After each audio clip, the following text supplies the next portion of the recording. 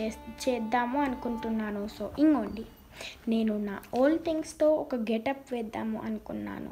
So నేను ఒక ఒక రెండు నన్ను చూడండి. రిజల్ట్స్. నేను క్రేజీగా ఉన్నాను కదా.